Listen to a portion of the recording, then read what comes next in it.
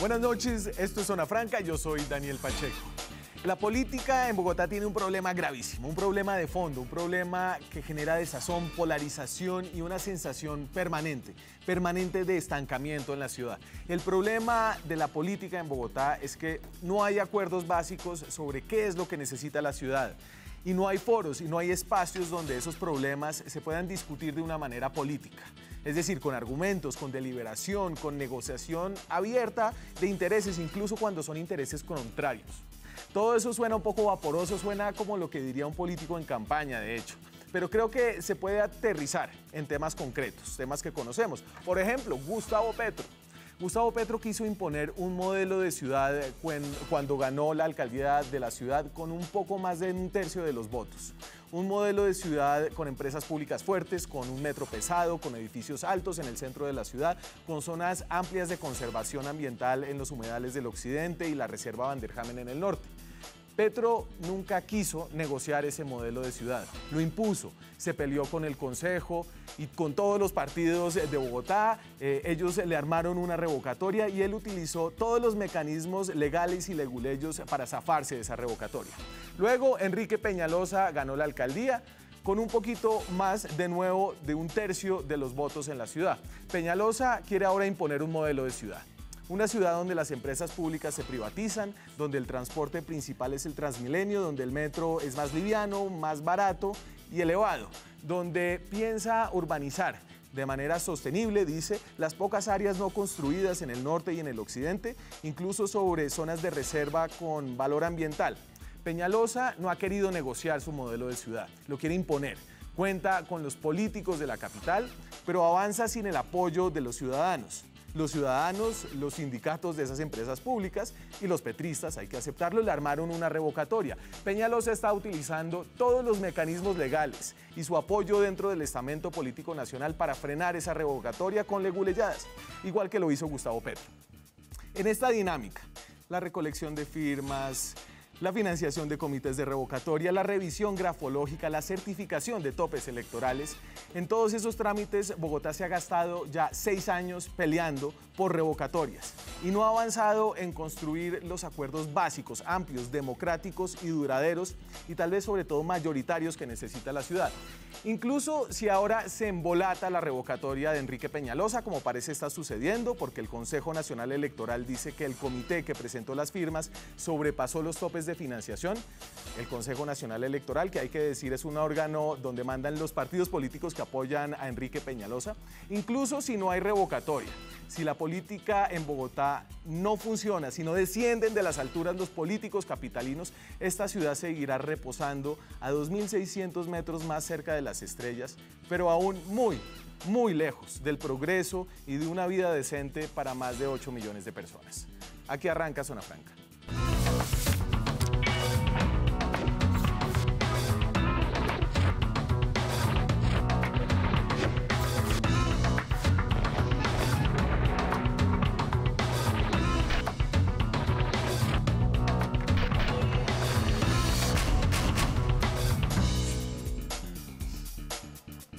Y nos acompañan eh, esta noche eh, representantes de ambos de estos lados en disputa. Eh, de un lado tenemos al representante a la Cámara Telésforo Pedraza del Partido Conservador, representante por Bogotá, ex embajador, un diplomático con mucha experiencia, pero arrancó su carrera política aquí en la capital como concejal, presidente del Consejo.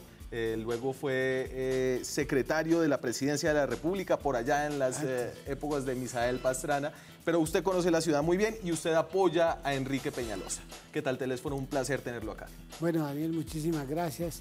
Permítame esta noche que voy a estar yo con una franja negra acá para lamentar la muerte de María Cristina Arango de Pastrana, una señora que le dio lustre por su manera de ser, por sus condiciones, como esposa del primer mandatario de la nación. Lamento mucho su fallecimiento y quiero antes de comenzar, por supuesto, este programa, rendirle un homenaje a ella, a su familia y a todo lo que hizo María Cristina Arango de Pastrana eh, desde eh, como presidenta de la Junta Directiva del Instituto Colombiano de Bienestar Familiar y todo lo que fue su vida, que es una vida de ejemplo y es una vida que en mi caso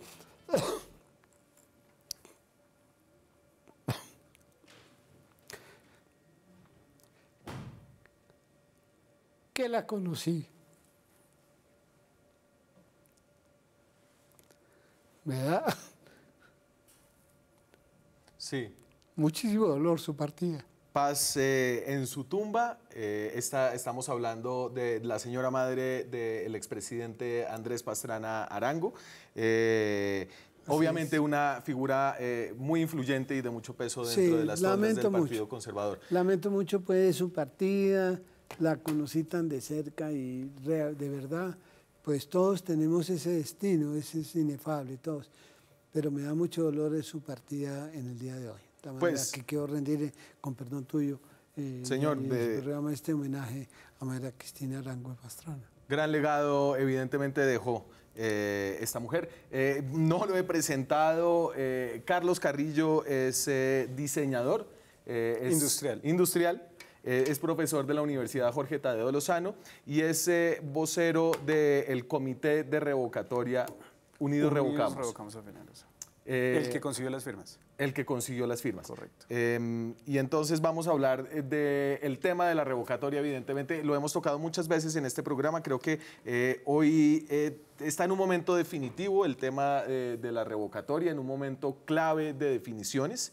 Eh, y de, definiciones que parecen eh, inclinarse a favor del alcalde de la ciudad y ya lo veremos porque, y yo he empezado diciéndoles que la política de la capital tiene un problema y es que andamos hablando de revocatoria y ese problema no lo puedo evitar yo en este programa y entonces vamos a hablar de los intríngulis legales eh, que enredan esta discusión y que en últimas no nos dejan avanzar en temas más importantes. quería arrancar con una una mirada al calendario, lo llamamos el calendario cachaco. Aquí en este tema de la revocatoria los tiempos son eh, claves. Los tiempos son claves para eh, el avance de la revocatoria, pero también para el avance de los proyectos claves del alcalde Enrique Peñalosa y, lo verán por qué creo yo eso. Eh, entonces, devolviéndonos un poquito a mayo del 17 de este año, fue cuando se entregaron las firmas para la revocatoria. Eh, la registraduría en junio hizo una validación de 413 mil firmas, que son... 73 mil. 73 mil, perdón, ahí gracias por la corrección, señor. Eh, y esas son las firmas que necesitaba el comité para acreditar que había suficientes ciudadanos que querían que el alcalde se fuera. Pero esas firmas tenían que ser, a su vez, eh, revisadas por la Registraduría Nacional y el comité que recogió las firmas tenía que ser revisado por el Consejo Nacional Electoral.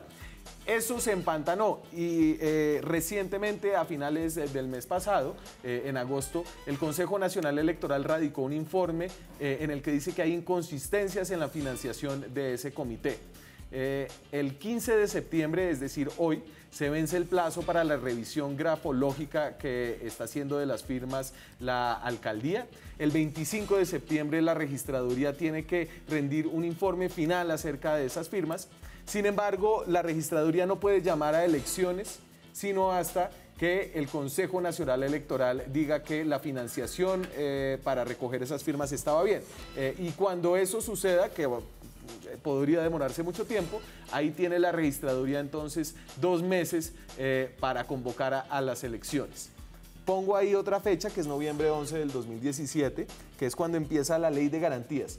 Eh, esta es la ley que congela los presupuestos públicos eh, por la cercanía de las elecciones. Y si usted no logra aprobar las cosas que necesita aprobar antes del 11 de noviembre, por ejemplo el metro, eh, eso se puede quedar frenado y si Enrique Peñalosa no entrega los estudios, podría eh, no poder recibir la plata de la nación. Y devuélveme un poquito esa gráfica y, termino con lo que tenía ahí. Eh, y solo, y estas fechas, esta fecha es clave, junio del 2018. Según la registraduría, si hay una revocatoria y si esa revocatoria se hace después de julio del 2018, no habría nuevas elecciones para escoger un nuevo alcalde, sino que el presidente de la República elegiría de una terna del movimiento que pues, representó al alcalde actual. Entonces, todas estas fechas para decir que si se demora mucho este tema de la revocatoria, eh, es cada vez más probable que los ciudadanos estén motivados para salir a votar. Eh, usted me estaba haciendo eh, caritas, telésforo, y me imagino que es porque tiene algo, algo en mente. Mira, Daniel, es que tú pronunciaste un discurso muy de fondo en la introducción de, de, este programa y le agradezco mucho que me haya invitado, como dije, al inicio lamento mucho el fallecimiento de María Cristina Arango Pastrana, pero este, este no es un tema como tú lo estás planteando con todo respeto, desde el tema, desde el punto de vista mecánico, de si se cumplen unos términos, de si va a llegar, etcétera. Yo quisiera que aquí al invitado que tú has hecho esta noche, que no he tenido el placer de conocerlo, que es el que eh, encabeza eh, em, el, o el vocero o, uno de los voceros de la revocatoria de Enrique Peñalosa, que le diga a la ciudad, y yo después le voy a decir a usted, porque he estado yo también aquí en este programa y porque tengo la suficiente autoridad ética y moral para eh, replicar el tema, pero que nos diga exactamente a los ciudadanos de Bogotá ¿Cuáles son las, cuáles son las, las eh, razones que ellos están invocando de fondo, ah, no un tema de órdenes mecánicos. Se le da la pepa del gusto. Con muchísimo gusto le puedo contar a los ciudadanos cuáles son las razones por las que tenemos que revocar a Enrique Peñalosa. Primero que todo, porque es un mentiroso. Una persona que le mintió durante 35 años al país sobre sus títulos académicos y que fundamentó su carrera política sobre la idea de que era un tecnócrata y no un político, pues no merece moralmente ser alcalde de, de Bogotá y definir el destino de 8 millones de bogotanos. Segundo, por su conflicto de intereses. Enrique Peñalosa, desde que salió de acá disparado a Nueva York, ha sido prácticamente el mayor promotor en el mundo de los sistemas de buses tipo BRT o Transmilenio, en una fundación patrocinada por toda la industria del carbón, Shell, Michelin, Volvo, por supuesto, y quienes están interesados en que por todas partes del mundo se construya un modelo como Transmilenio, y Bogotá es su conejillo de indias. Además, pues la privatización de las empresas públicas, que es claramente inaceptable, la ciudad no está de acuerdo con eso y tampoco hay una, un sustento técnico. Y pues ni hablar del metro de Bogotá, que claramente se embolató por segunda vez, porque eso es muy importante. Al perro sí lo capan dos veces.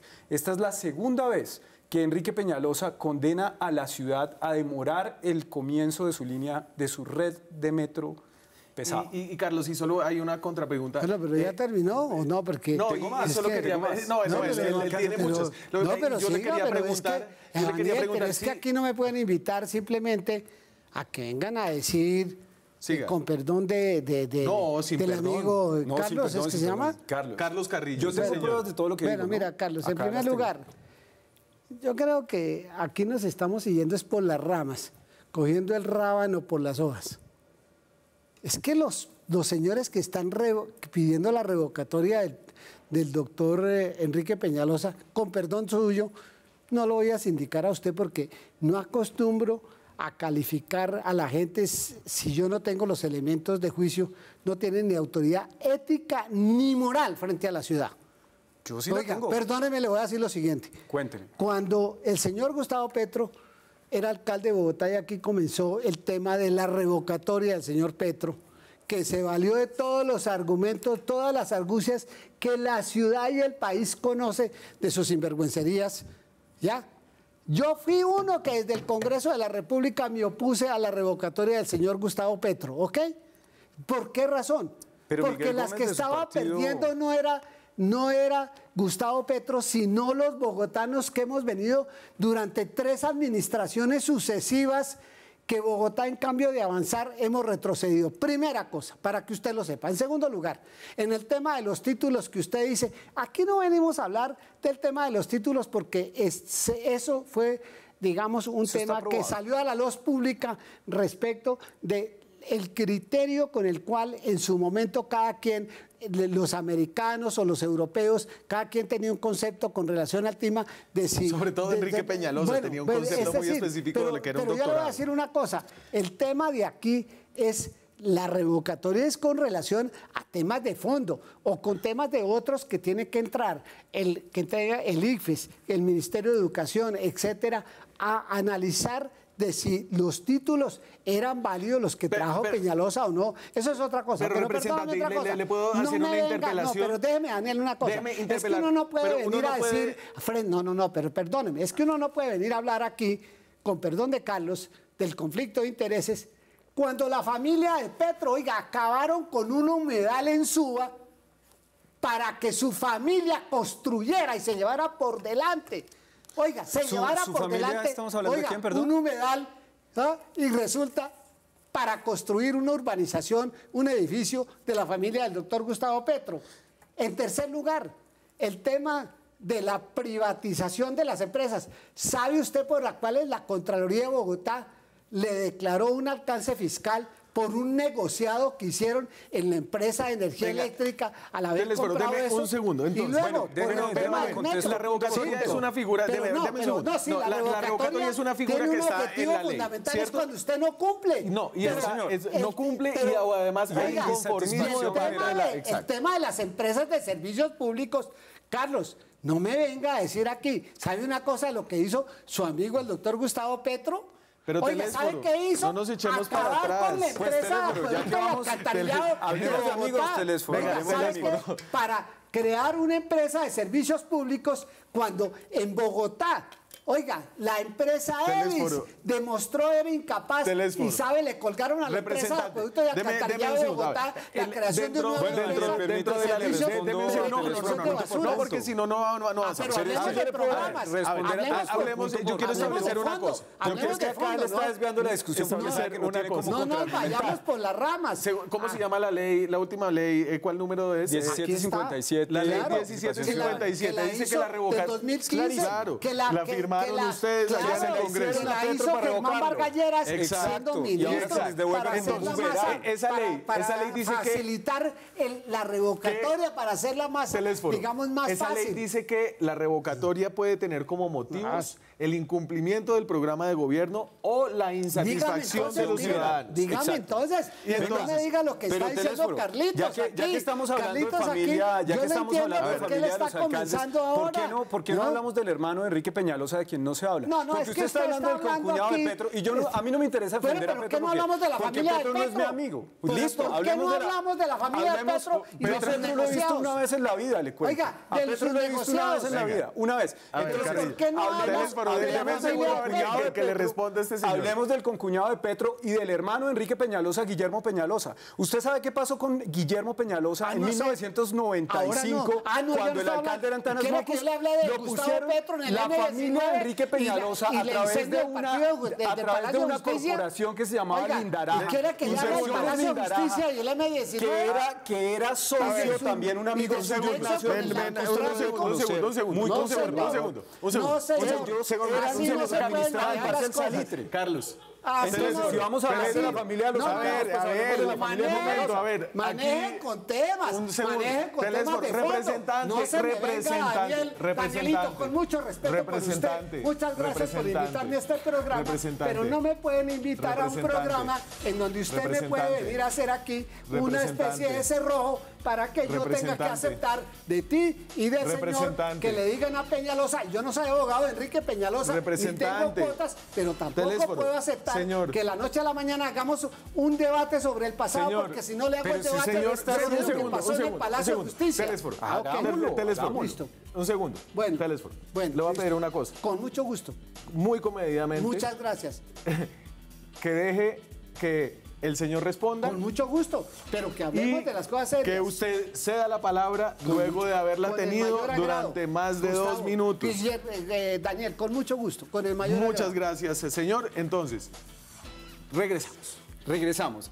A mí, a, mí me, a mí me parece que el debate sobre la familia de Petro es absolutamente irrelevante acá. Y pues, o sea, yo ni siquiera sé quién es mi concuñado. O sea, es que yo no lo conozco. Entonces, a mí el debate sobre la familia de Petro me parece irrelevante. Sobre la las empresas públicas, ya que menciona lo que pasó con las empresas públicas, a mí me gustaría invitar a los, a los televidentes a que vean un artículo que publiqué esta semana sobre cuál fue el festín que se dio el socio de Enrique Peñalosa, Ignacio de Guzmán, creador de Transmilenio, con la ETV. Los invito a que lo lean en algarete.com.co. Eso sobre las empresas públicas. Sobre el metro, claramente Enrique Peñalosa no, no lo va a hacer. El gran fracaso de Enrique Peñalosa es que en Bogotá exista un sistema férreo, porque se le viene al piso su negocio y su modo de vida. Transmilenio para Peñalosa es un modo de vida. Y bueno, sobre la isla, la verdad es que... Aquí no hemos avanzado absolutamente nada en el debate de hoy. Pues es el debate de hoy, déjeme remarcar. Eh, eh, Daniel, ¿por qué no me permite también en, en una... ¿Qué estamos haciendo? Yo quiero un debate sobre por qué de fondo hay que revocar o sobre el tema de si en el pasado Petro participó en la toma del Estamos Palacio haciendo... de Justicia del M19 no, o de No, definitivamente ah, eso no. Entonces, no. Eh, yo, le, yo, le, quiero explicar. Hoy, Hablemos de la ¿Cuáles son las razones? Yo le voy a explicar que, de qué, cuál es el debate de hoy. El debate de hoy es el... deme un segundo, es. No, pero, pero, pero es que yo no puedo... Usted puede ser el presidente de la comisión primera, pero yo soy el presidente de este programa, señor. No, no, señor, no puedo cederle la palabra. Me va a tocar hablar por encima de usted todo el programa. Va a ser una hora muy larga, señor. Si hablamos los dos por encima, Muchas gracias. Entonces, perfecto. Vamos a hablar sobre el estado actual de la revocatoria de Enrique Peñalosa, de, si va a ir o no y de cuáles son los argumentos que esgrime el Consejo Nacional Electoral para frenar esa revocatoria y cuáles son los argumentos que esgrime la gente que puso 473 mil firmas, que son las legalmente requeridas para citar a una revocatoria. A usted puede que le guste o no los motivos, pero señor, la ley es la ley y es la ley que usted hizo, señor. Sí, sí, ¿no? Entonces hablemos sobre si esta ley... a un programa para que usted me diga de fondo cuáles son las razones que están motivando y, creo, y a eso vine, Danielito, a eso vine a tu programa, a que le digamos a los ciudadanos cuáles son las razones, no de la simple mecánica del día a día, de si... Mire, pero la mecánica es importante porque es que las firmas, es vergonzoso lo de las firmas. ¿Sabe qué? Dígale hoy, Carlitos, dígale hoy a la ciudad, de verdad, en serio, sin recurrir a si el hermano de Peñalosa robó y si yo le digo a usted, el tema de la no le voy a decir telesforito porque aquí sí se me acaba el programa. dígale por qué es que vamos a revocar a Enrique Peñalosa. Dígale eso. Eso es lo que es de fondo, Daniel. No, sí, señor. No el tema de la mecánica porque yo también le mira, aquí La mecánica es importante y con eso volvemos después de comerciales de pronto. No estoy seguro, pero creo que sí volvemos después de comerciales. Sí, seguimos Seguimos aquí en Zona Franca, estamos hablando de la revocatoria y como yo ya sé que ustedes dos van a decir lo que quieren decir eh, y no hay manera de que yo los pueda encauzar, voy a decir lo que yo quiero decir y ustedes dirán después lo que ustedes quieren decir. Lo que yo quiero decir es el estado actual en que se encuentra el proceso de revocatoria. Entonces, entregaron las firmas, pero faltaba la certificación del Consejo Nacional Electoral, que es un órgano integrado por representantes de los partidos políticos que debe vigilar todo lo que tiene que ver con las elecciones. Este Consejo Nacional Electoral debe dar una certificación a la registraduría para que diga, sí señores, vayan a la votación para revocar a Peñalosa. Sin embargo, eh, hallaron lo siguiente en un informe que publicaron en agosto, hace algunos días, y entonces lo que dice es básicamente que se presume una superación de los topes de financiación de acuerdo con una resolución, eh, y esto tiene que ver con que un sindicato, Sintra Teléfonos, que es de la ETV, eh, le dio cerca de 70 millones de pesos al comité que recaudaba estas firmas eh, y eso es más o menos 30 eh, millones de pesos más de lo que supuestamente podía dar. ¿Por qué supuestamente podía dar? Porque esta es la ley de topes. Eh, la ley de topes que establece cuánto le pueden dar los particulares a una campaña de revocatoria. Entonces, lo que dice en el artículo 12 de la ley 1757 es que ninguna campaña de recolección de apoyos ciudadanos podrá obtener créditos ni recaudos, recaudar recursos, contribuciones ni donaciones provenientes de personas naturales y jurídicas de las que trata el Código de Comercio que superen el 10% de la suma máxima autorizada por el CNE. El 10% de la suma autorizada por el CNE eran 40 y pico, 43 millones de pesos. 41. Sintra Teléfonos les dio casi 70 millones de pesos. Pero entonces responden eh, los, de, eh, los eh, que quieren revocar a Peñalosa, los de este comité, es que los sindicatos no se acogen a ese tope de 10% y citan esta sentencia de la Corte Constitucional.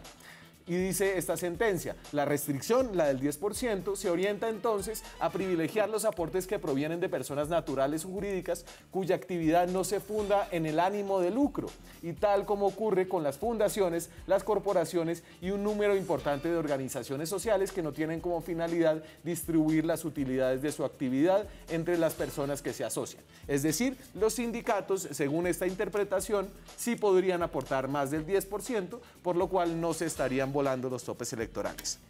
Carlos, retome y diga lo que quiera porque yo ya dije lo que iba a decir. Es, es muy importante explicar que los topes hay tres razones por las cuales el Consejo Nacional Electoral podría detener el proceso de revocatoria. Uno es que no se entregara la contabilidad a tiempo, eso se, se, cumplió. Otro, que se pasara el tope general de 400 y pico de millones, que por supuesto no tuvimos esa plata. Y tercero, que se violara el tope individual. El tope individual no se violó, ni siquiera si consideráramos al sindicato como una persona jurídica normal, porque los aportes del sindicato de Sintrateléfonos fueron de 40 millones de pesos. El Consejo Nacional Electoral, con toda la mala leche posible, considera préstamos iguales a donaciones. Y eso no es así, eso no es así en ninguna campaña política. Pero Ahorita, la ley decía préstamos.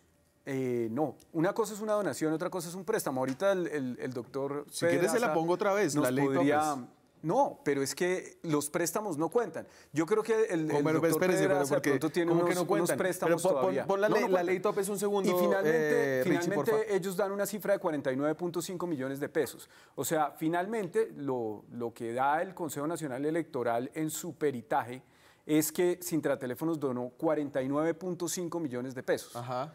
O sea, 8 millones Pero, de pesos más del Entonces, top. fíjese, ninguna campaña podrá recolectar de apoyos ciudadanos, podrá obtener créditos ni recaudar recursos, contribuciones ni donaciones, créditos, obtener créditos ni recaudar recursos, contribuciones ni donaciones. Es decir, ¿un préstamo eh, eh, es un crédito? A mí me parece que sí. En este caso, en las campañas políticas y el, y el doctor Pedraza, que ha sido candidato muchos años, yo no he sido candidato nunca a nada, Sí, pero lo sabrá mejor. Una cosa es los mil millones de pesos que le presta el Banco de Bogotá a Peñalosa y otra los 50 que generosamente le regala el presidente del banco. Es distinto. Y, no- y si lo sumaran, nadie podría hacer política, o sea, todos estarían por fuera. Si fuera así, ahorita el doctor Pedraza nos cuenta. Pero sea como sea, no se llegó a esos 41 millones de pesos y les voy a explicar por qué. El Consejo Nacional Electoral, y esto es muy importante porque es clave en la discusión, es un órgano político. Ellos son unos politiqueros disfrazados de magistrados. Entonces, a ellos no les interesa fallar en derecho, a ellos les interesa cumplirle a los políticos que los pusieron en esas sillas. Por ejemplo, el magistrado Alexander Vega es el magistrado de la ñoñomanía, es cuota del ñoño Elías. La magistrada Carrillo es de la cuerda de Kiko Gómez, hágame usted el favor. Héctor Eli Rojas, el otro magistrado, Sí, digamos, lo puso para la hija de, de- la hija de Héctor Eli. Peñalosa la puso en la junta directiva de la ETV. Hágame el favor, ¿cómo puede una persona así no declararse impedida? Emiliano Rivera, el que está haciendo la ponencia, amiguísimo de Andrés Villamizar de la Fundación Azul. Entonces, ¿cómo puede uno confiar en una entidad como esa? El Consejo Nacional Electoral no vio los millones de dólares que metió Odebrecht y ahora sí está peleando por unas fotocopias. Aquí hay una clara mala leche del Consejo Nacional Electoral, una clara mala intención Bueno, eh, de proteger sí. a un político que encarna a toda la clase política colombiana. Peñalosa es tan malo que une a Uribe, a Santos y a Lleras alrededor. Si se cae Peñalosa, se los arrastra a pero todos. entonces, entonces, como tú has visto, yo me he quedado callado. porque- Muchas veces se lo porque- agradezco inmensamente. Eh, Bueno, y gracias a Dios, ¿no es cierto? Yo me he quedado aquí callado o escuchando a Carlitos, que no lo conocía. Le digo Carlitos porque me parece buen tipo, me parece buen- y además me parece solo que porque la barba muy musulmana y me parece que le, que le agrega un poco de años, pero, pero el resto me parece Es para que intimidar, es para es para intimidar, pero con algunos, no conmigo. ¿Ok? Entonces yo sí le quiero decir lo siguiente, eh, Daniel, muchas gracias, como le dije antes en el programa, cuando tú con razón dijiste que yo me iba tomando un poquito la palabra, pero es que uno a veces en estas cosas es mejor ser suficientemente claro frente a la opinión. Mire, yo vine esta noche, eh, Daniel, te vuelvo a reiterar y le digo a Carlos, vea Carlos, cuando a uno lo inviten, no me invite aquí a hablar del tema pequeño de la mecánica, ¿cierto? Porque yo sí aprobé esa ley. Estaba en el Congreso cuando Germán Vargas presentó eso para hacerlo más flexible el tema de las revocatorias. Pero le voy a decir lo siguiente, Carlos. Como dije antes, yo me opuse, pida las actas, yo no estoy diciendo mentiras. Así como dejé todas las constancias respecto de todas las sinvergüencerías que cometieron durante la administración de Petro con las empresas de servicios públicos, acabar con la empresa de acueducto y alcantarillado para colgarle una, em, una, empresa de prestación de recolección de servicios. Cuando me tocó a mí siendo concejal de la ciudad, Óigame, Daniel, usted no había nacido, creo, usted creo que estaba gateando. Pero teléfono, no, echemos para adelante. No, por eso. Es que, es que como aquí a poner un poquito el retrovisor, le quiero decir lo siguiente. Yo en ese momento eh, eh, aprobé la liquidación de la empresa de Edis, venir a acabar después para crear una empresa de recolección de basuras, por Dios, colgado a la empresa de acueducto y alcantarillado de Bogotá. Perdóneme. Entonces, lo yo que, lo a lo si que yo vengo... de acuerdo con, no, no, no, que el CNE pero, tumbe, que no me venga. No, no me venga... No, mire, le voy a decir lo siguiente. Si lo que me invitan esta noche es para preguntar si en el tema de la mecánica política, esa pequeña cosa esa, de si los pues la que podría determinar si hay o no revocatoria, no, no, dígame si la ciudad hoy requiere que sigamos retrocediendo o si quiere que sigamos avanzando. Yo no soy quien no para me decirlo si hay 473 mil personas que firmaron. Eso de las firmas, mire, eso de las firmas es tan vergonzoso que le voy a decir lo siguiente. No, el registrador nacional ayer dijo, y, eso es, esa es la degradación de la democracia, ¿sabe? Yo fui el que me libré la batalla en el año 2003 para acabar con esa vagabundería de la cantidad de partiditos, ¿no? Porque 73 partidos políticos, ¿cómo puedes tú hacer democracia? Usted me está diciendo hoy, Danielito, venga, mire, ¿sabe qué? Es que, dice Carlos, de conformidad, claro, aquí está de conformidad con la, ¿sabe una cosa? Yo no estoy seguro que las firmas que ellos están presentando fueron de las personas que votaron en Bogotá para efectos de la elección del alcalde de la ciudad capital. ¿Y cómo le parece a ustedes que, en Bogotá, que en Bogotá el doctor Petro salió con menos del 30% de la votación en Bogotá. Y hoy están diciendo que hay que revocar al doctor Enrique Peñalosa, pero no por temas de orden mecánico. Diga de fondo por qué razón la ciudad tiene que retroceder y por qué los ciudadanos de Bogotá, que estamos pagando impuestos, tenemos todos los días que perder en calidad de vida. Dígame eso, Daniel. A eso es que quiero que usted me invite. no me invite. Yo no, yo, yo invito para que usted hable y para que usted opine. y a los, y a los bogotanos que sea cortica. Una sola razón. Sí, sí, Una perfecto. sola, porque es que hay muchísimas. Una, con Enrique Peñalosa estamos condenados a un sistema de transporte que no funciona. Él nos condenó en el 98 a Transmilenio y nos está volviendo a condenar. Se va a gastar 28 billones de pesos con lo que podría construir 60 o 70 kilómetros de metro en su negocio, en su proyecto de vida. Entonces, eso, solamente eso, ya es una razón para que Peñalosa se vaya de la alcaldía antes de que nos condene a 20 años más de una movilidad de pesadilla. Su respuesta. Bueno, pero es que primero, me voy a comerciar este teléfono. No, pero Carlos debe decir, rápidamente. Cuando regresemos, escuchamos la respuesta del representante Telésforo Pedraza. Ya regresamos. Seguimos en Zona Franca en un difícil debate sobre la revocatoria en Bogotá. Eh, vuelvo a mis palabras eh, del principio. Y usted, eh, señor, tiene la palabra. Sí, mire, yo lo primero que le doy un consejo a Carlos, porque está muy joven, ya sé cuántos años tiene él. Uno no ¿Cuántos? puede... 36. Oh, no, pero claro, ese muchacho que está comenzando y le deseo muchos éxitos. Pero usted tiene por ahí que 51. No, yo ya pasé el séptimo piso, entonces un poquito, sí, de, de, años y de experiencia. Dice que el diablo no es por diablo, sino por viejo. Pero le voy a decir lo siguiente, Carlos, mire, uno no puede vivir en los medios de comunicación sindicando a unas personas si uno no tiene elementos de juicio. Por ejemplo, yo no puedo llegar a decir que Petro era el socio de sus familiares en Suba, con donde se llevaron por delante nada más ni nada menos que un humedal para construir. Daniel, no lo estoy calumniando, lo hicieron allá en Suba. Pero no, no es que no lo podía decir. Se llevaron, no, por eso. Pero yo no puedo llegar a decir que socio era Petro, que, que socio era ah. Petro ellos.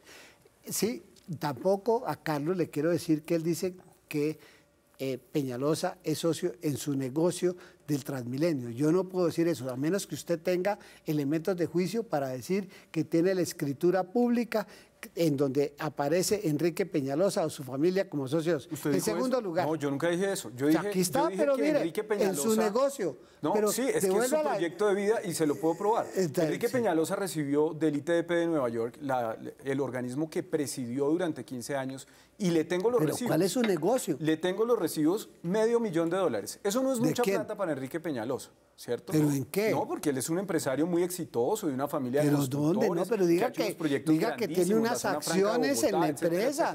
Daniel, es que yo no lo puedo sindicar a usted para ponerlo así. Es que, es que esa es una muy buena bueno, pero, pero, le estoy diciendo como consejo.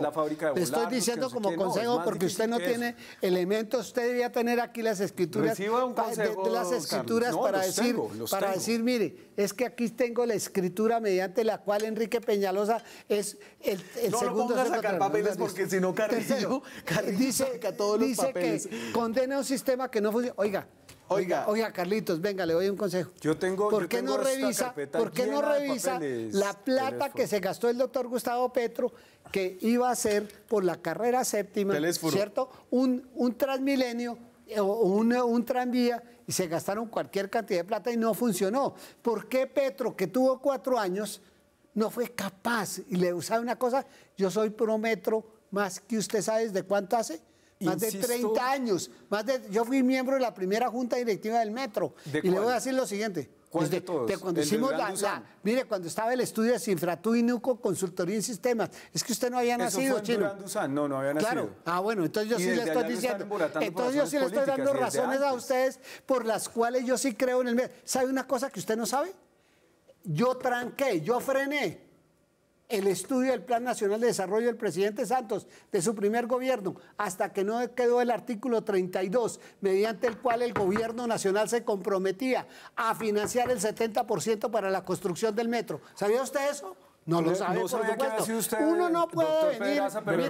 pero a mí Daniel me invitó esta noche. Le digo, y, yo lo invito a usted. El, autor del cheque. Yo lo invito a usted es a una cosa. Me encanta que sea prometo porque eso quiere decir que se va a sumar la ciudad, a la revocatoria. Quiera Bogotá, hombre. Queremos que querer a esta ciudad. Queremos darle a estos nueve millones de ciudadanos una mejor ciudad y una mejor calidad de vida. pero no nos dediquemos a lo, a, lo, primario, a los odios políticos, simple y llanamente. Antes, así de que se caliente así la cosa. A que revocaran a Petro, no puedo aceptar de ustedes que hoy sin ningún tipo de autoridad vengan a pedir la revocatoria yo, yo de Enrique Peñalosa. Yo quiero mostrar este libro. Este después muestra el libro del Transmilenio. yo, quiero que ustedes dos este escuchen. y, y, yo quiero explicarle mm. antes de que usted vea la siguiente nota que esta es una nota de calle. Que esto es un sondeo. Sale el periodista y trata de coger gente aleatoriamente. Eh, y lo refleja después en su edición de qué es lo que piensa la gente en Bogotá acerca de la revocatoria. ¿Quieren seguir con esto, con este proceso desgastante? ¿Quieren eh, eh, ya quedarse con Peñalosa? Esto es Zona Franca en la calle.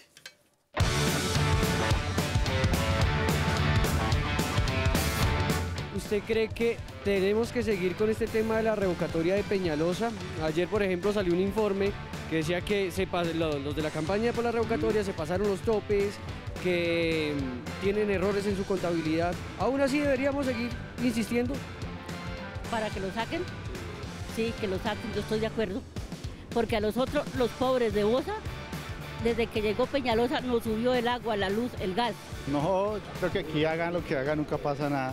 El error de la contabilidad, digamos, no importa porque lo debe asumir, sino lo que importa es que las firmas no sean de muertos, ¿cierto? O personas desaparecidas o, falsas. Realmente yo pienso que Peñalosa, pues puede que no haya hecho mucho, pero tampoco ha hecho mucho daño. Pues me parece a mí que no, no se justifica porque la cantidad de gastos con la revocatoria es tremendo. Él por ética y por principios morales debería de renunciar. Yo revoco a ese señor primero porque hizo algo que no se debe hacer, o sea, en la Contraloría, en la Procuraduría, en la Fiscalía y en todas las IAS, ese señor está más que... Él es un gringo. ¿Por qué votaron por ese desgraciado viejo? Pues yo creería que sí, O sea, hay que insistir hasta que pueda cambiar algo la ciudad. ¿Hay que sacarlo o no hay que sacarlo? Yo realmente ahí me preguntaban por la calle y yo dije, eh, es un trabajo muy difícil y, y esta ciudad es muy grande. Que saquen ese tipo, que saquen. Es una porquería que ya no ha servido sino para hacernos daño a nosotros, para sacar los vendedores, para dejar a la gente muriéndose de hambre. Por el tema del, del metro, el metro nunca se hizo. Y se va a hacer y yo creo que ni lo conocemos, ¿sí? Nos toca, porque es un pícaro, peor que, que malo. Ya lleva la mitad del periodo, ¿no deberíamos dejarlo terminar? No, no porque él no, él no, no ha hecho su función como es. La verdad es que de- en la política todo está tan amarrado que el pueblo como nosotros no tenemos mucha injerencia. Lo que pasó con Petro, igual Petro siguió hasta el final, de con Peñalosa que, que, que siga lo mismo. Vox Populi, Vox Day. Con eso mueve la pausa. Ya regresamos con conclusiones de este accidentado debate de la revocatoria. Seguimos en Zona Franca esta noche hablando de Bogotá, reflejando las dificultades que hay en el debate público en la capital de Colombia. Eh, conclusiones, señor, no sé por eh, qué lado los quiere coger usted. Diga aquí los primeros. Vea, Daniel, muchas gracias. Y a la Muchas gracias por venir, te-. Telésforo, de No, verdad. y de verdad, muchas gracias. ¿Sabe por qué? Porque yo creo que los ciudadanos en Bogotá tienen que tener una buena información respecto de las razones. Y yo le digo a Carlos, y lo invito a usted, diga, pero de fondo, no, me, no, no nos metamos en temas pues hondos en donde no van a salir ustedes bien librados. Y a mí no me interesa porque no soy abogado del señor Enrique Peñalosa, ni mucho menos. Pero diga usted a los ciudadanos de Bogotá, ¿por qué quiere que la ciudad retroceda? En cambio de que la ciudad avance, en que nuestros hijos puedan vivir mejor, en que la ciudadanía vea mejor reflectado, reflejado el pago de sus impuestos. Carlos, es que es increíble, ¿sabe qué? Que yo pagué valorización en la administración de Petro, que me la devolvieron y no hicieron las obras. ¿Usted sabe los 12 años de desastre que pasaron en Bogotá? De esos No. 12, cuatro, Bueno, cuatro no. fueron de un socio de No, Peñalosa, ¿no? De no, un socio político, yo quiero no decir, sé. Lucho Garzón. ¿Quién? Pues todos lo vimos bailando la cereje con Uribe y con Peñalosa en la campaña anterior. O sea, es que eso de los 12 años de izquierda Adelante, es un vamos para adelante. aburridor. A ver, eh, su, Bueno, su- a ver, yo- señor, ¿se va a caer o no la revocatoria? Yo no puedo hablar de lo que quería La en revocatoria programa. no se va a caer. Y no se va a caer porque esto es la expresión del 80% de la ciudad. Si, eh, si a través de una leguleyada el Consejo Nacional Electoral, que pues es el órgano más poco confiable de la institucionalidad colombiana, la tumba, que podría suceder una arbitrariedad, puede que después ellos terminen presos por prevaricato y pues allá tendrá pues los amigos que llevarles pollo a la picota o algo, porque pues ellos no tienen fuero ni nada por el estilo. Entonces, si los magistrados se atreven a prevaricar, la, re- la- la revocatoria podría caerse, pero eso no va a cambiar el sentimiento de la ciudad. Y entonces, si tumban la, revocatoria con leguleyadas, lo que tendrán es un movimiento de inconformidad ciudadana no, nunca antes visto en esta ciudad. O sea, es que a Peñalosa le va a tocar es renunciar cuando la Plaza de Bolívar esté llena de gente pidiéndole la renuncia. Entonces, yo invito al, al- al doctor Pedraza y a la, y a la clase ¿Ayer política cuántos salieron a favor de la revocatoria? Por ahí como unas 5 mil 600. personas. Ahí están las imágenes, pueden verlas, por supuesto no las que publicaron ciertos periodistas amañados, pero pueden verlas en redes, hay, hay videos, ahí está más o menos cuánto es. ¿Esa, esa iba para mí? No, no, no, no. Mira, mira, No, porque ya si me dieron si tan me duro de permite- este lado. Si me permite, yo, yo sí quiero invitar a la a clase Carlos política que a respete la democracia. Cierre, que que respete. No, a que sí. respete la No, no, democracia claro, porque si no van a tener que enfrentarse esa que no respetó, esa que no respetó tu jefe, el doctor Petro, que desde el Bueno, Palacio de la Alcaldía de Pavés de. Contratación se llevó por delante, ¿sabe qué? La ley 80, se llevó por delante la Constitución. sabe- qué bueno ¿Sabe que qué? menciona Desde la el ley Palacio 80. de la Alcaldía, no, no, no, pero perdóname, usted sí hace parte de un movimiento político No, no claramente que no tienen político. autoridad con perdón, no, no. Pero ¿de dónde Cuando uno quiere la ciudad, es que yo me opuse a la revocatoria de Petro, querido amigo. Busque las actas en el Congreso Nacional. Partido Conservador cuando, a través cuando el señor doctor Miguel Gómez se puso a eso, Él es se puso de en quién? esa tarea. ¿Es Yo me opuse. Gómez? De yo me opuse en el el Congreso Nacional a la revocatoria de Petro. ¿Sabe por qué? Porque estábamos perdiendo los bogotanos, porque estábamos perdiendo, Daniel, los ciudadanos, por Dios santo. Pero ¿Qué no nos yo, pongamos, que yo hago mire, no nos de- de- pongamos de en un- un pequeños, grupo político, como en la época de la patria boba. No regresemos a lo que no es importante. Piensa en tus hijos, piensa en tu familia, piense en la ciudad, piense en tu vecino, piense que usted paga impuestos. Para que no se los gaste pensemos, en su no, no, no, es que esté de la noche a la mañana. Mire, yo no voy a entrar, Carlitos, esta noche, con- por la amabilidad de Daniel. ¿Sabe qué? En los pormenores de lo que fue la contratación y cómo dejaron. Bueno, los volvemos con el retrovisor. Entonces, A mí sí me yo gusta les acabar el programa. Yo estamos invito a ustedes, a los amigos de la revocatoria, quisiera más bien, la es el prueba que de que pensemos en Bogotá no tiene Bogotá, metro por en culpa el futuro, en la ciudad. No, yo no estoy en Pero de usted orden le, usted le tiene ¿Me miedo a, a- a- a- a las urnas. ¿Usted cree que Peñalosa no, No, podría salir ¿cómo se le va a fortalecido, Telésforo? Mira, pero ¿cómo le voy a Claro. tener miedo a las urnas si yo, óigame, óigame, Daniel, Imagínese, ¿cómo le voy a Daniel, tener miedo a las urnas si soy un demócrata convencido? Pero ¿por qué no quiere que vayan a votar? cosa. No, lo que no le soy amigo, no, lo que no no, no me confundas en lo siguiente, no me confundas Catalina de Messi con qué me decís Catalina, ¿sí? No me confunda usted ¿eh? el tema de participación democrática con el tema de hacerle un enorme daño a la ciudad sin ningún fundamento, así como me opuse a la revocatoria del doctor Gustavo Petro, teniendo motivos y razones, pero creía que quien estaba perdiendo la ciudad y no era Gustavo Petro. Doctor Pedraza, si los medios de comunicación en general, y esto va directo para la revista Semana, para el diario oficial El Tiempo, como le digo yo, etcétera, si esos medios hicieran el control político que deberían hacer, y si los concejales de Bogotá hicieran el control político que deberían hacer, nosotros no estaríamos en estas. Pero es que Peñalosa hace lo que quiere y está tomando unas decisiones que van a condenar a la ciudad por décadas, como pasó en la administración pasada. Yo quería mostrar este libro, que es una maravilla, porque es que en serio es una joya. Esto lo escribió Enrique Peñalosa hace unos 14 años, en el 2003. Y es la prueba fehaciente, en palabras del mismo Enrique Peñalosa, de que él paró el proyecto del metro porque se le antojó, porque no le gustaba. Y entonces aquí dice, bueno, no puedo leerlo todo, pero dice que el gobierno de Samper efectivamente sí quería hacer el metro y que él, que es muy vivo, lo engañó. Y entonces dice, dice, pero además incluimos en el acuerdo que firmó con Saper que la mitad de la sobretasa de, gasol- de la gasolina se destinaría al sistema integrado de transporte y lo pone entre comillas. Destinarlo al metro era la única opción política en ese entonces de lo que, de lo que se requería para que los concejales lo aprobaran. Habría sido imposible hablarles de un Transmilenio en ese entonces, habría parecido una locura. Pero para mis adentros yo ya consideraba otras opciones. Y para refrescar eh, esta bella lectura, eh, mándame enredados hoy un tuit, eh, un tuit más político que yo creo que usted va a disfrutar, eh, Telésforo. Esto es Enredados. Engañó a la ciudad. Dice el poeta Barreras, Roy Barreras, eh, senador del partido de la U. La U siempre ha respetado a los ciudadanos que salen del closet. Por eso entendemos acto de transvestismo electoral de Mauricio Liscano. Ah, bueno. Ah, Ah, sí, pero bueno, ese, como dijo un día el presidente Santos, que frente a nuevos hechos la gente podía cambiar.